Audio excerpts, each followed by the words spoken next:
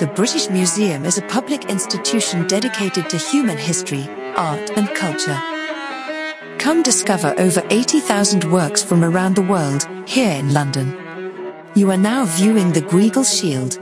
Captain James Cook was a British event. We're now looking at the Gweagal Shield, which was taken from my people.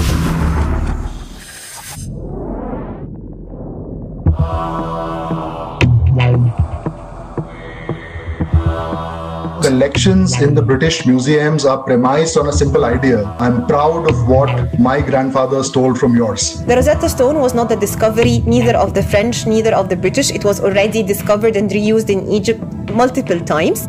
For us, it's not just a well carved rock, it is a living ancestor. This very important statue is on display in a museum thousands of miles away. Say the British Museum is the world's largest receiver of stolen goods. We're launching an interactive tour of some of its most contested artifacts.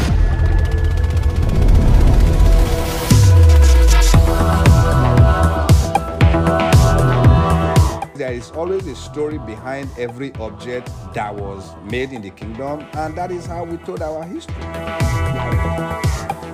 There were two foreign powers in rivalry over Egypt.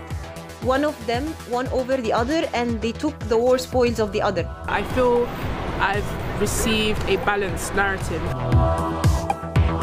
For many Assyrians, it was maybe the last time we could really stand up to people who were trying to bully us. We sort of went around the world and took what we wanted, and it makes me feel a deep level of shame. Museums around Europe are slowly realizing that exhibiting items taken by force hundreds of years ago from other countries is kind of gross. And it's about time. We can't change the past, but we can change how we engage with it in the present.